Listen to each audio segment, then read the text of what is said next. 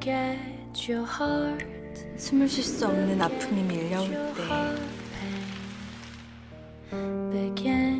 전 초콜릿을 먹어요.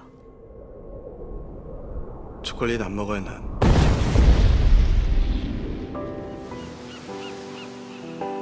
어릴 땐 좋아했었는데 그냥 그냥 언젠가부터 안 먹게 됐어요.